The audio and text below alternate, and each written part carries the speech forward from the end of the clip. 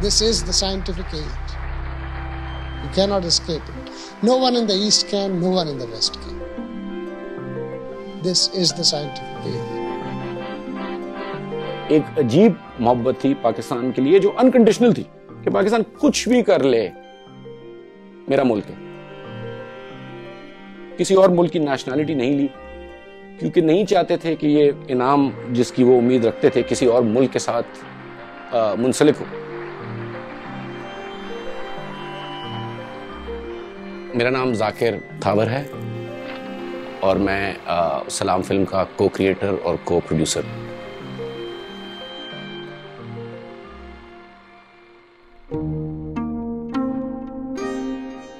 वालिद को ख्वाब आया था कि तुम्हारे घर बेटा होगा उसका नाम रखना अब्दुल सलाम ये बच्चा है वो बहुत अपना नाम रोशन करेगा। सलाम साहब बहुत जहीन थे। बहुत ज़्यादा जहीन। जब वो चौदह साल के थे, उन्होंने मैट्रिक में रिजल्ट्स में टॉप किया। जब वो साइकिल करके वापस आ रहे थे तो दोपहर की शदीद गर्मी के बावजूद, वो कहते थे कि पूरा गाँव बाहर आ गया था मेरा इस्तकबाल करने।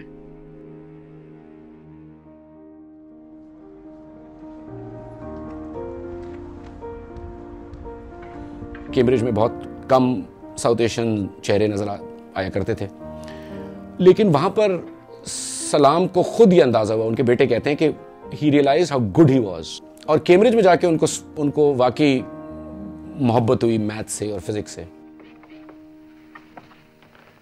I am a theoretical physicist and we theoretical physicists are engage on the following problem we would like to understand the entire complexity of inanimate matter in terms of as few fundamental concepts as possible.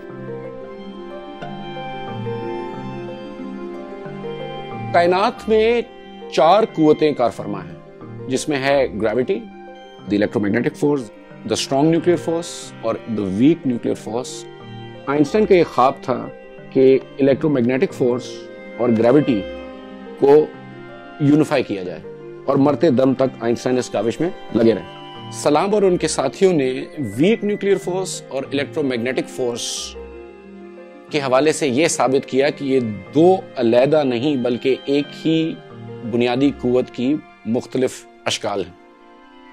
और इस आ, इस काम का नाम है electroweak unification और 1979 का जो नोबेल प्राइज था फॉर फिजिक्स वो दिया गया डॉक्टर अब्दुल सलाम शेल्डन ग्लाशा और स्टीवन वाइनबर्ग। एक पाकिस्तानी का फिजिक्स की अजीम जो ख्वाब है, उसकी तरफ़ एक कदम आगे ले जाना कुर्रा पे जो इल्म है उसको बहुत बहुत बड़ी बात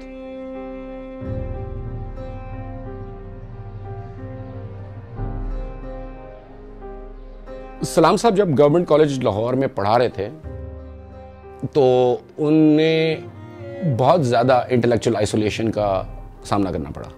कोई साइंसदान नहीं था दूर तक जिससे वो बात कर सके।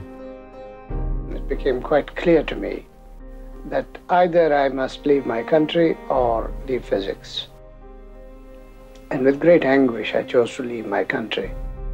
और उन्होंने कहा जब मुझे पाकिस्तान छोड़ना पड़ा तो मैंने अपनी जात से यह फैसला किया था कि मैं आइंदा किसी पाकिस्तानी या किसी डेवलपिंग कंट्री के साइंसदान के साथ ये नहीं होने दूँगा। कि उसको अपने प्रोफेशन और अपने मुल्क के बीच में फैसला करना पड़े कि मैं किसको तरजीह दूँ। इस सोच ने डॉक्टर सलाम को international centre for theoretical physics बनाने पे सिर्फ़ रागिब किया। नोबेल लॉरियट्स ला तादाद वहाँ से गुजर चुके हैं। कोई hundreds of thousands of physics के स्टूडेंट्स वहाँ से गुजर चुके हैं।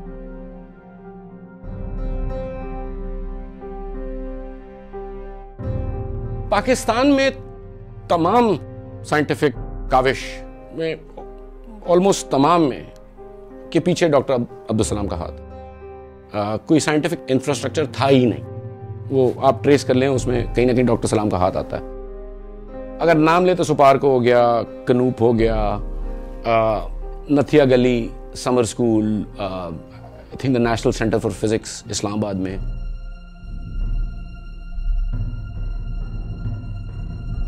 सलाम साहब की बिल्कुल इन्वॉल्वमेंट पाकिस्तान के न्यूक्लियर वेपन्स प्रोग्राम में।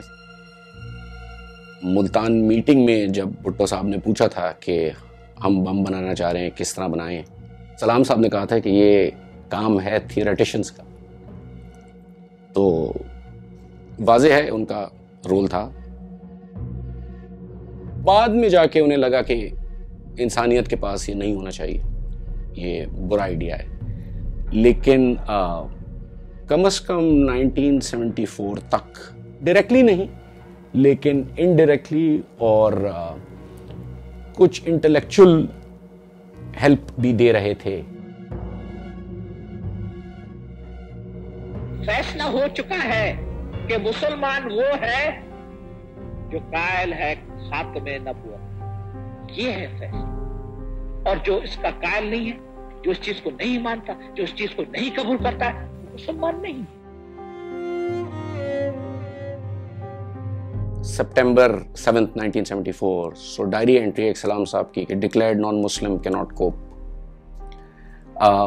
शदीद तकलीफ़ में थे शदीद तकलीफ़ में। The day that you declared me to be a non-Muslim, and since Pakistan was created for Muslims, you made me a second-class citizen. Resign कर दिया उन्होंने प्रोटेस्ट में। साइंस एडवाइज़र साइंसी मुशीर थे भुट्टो साहब के।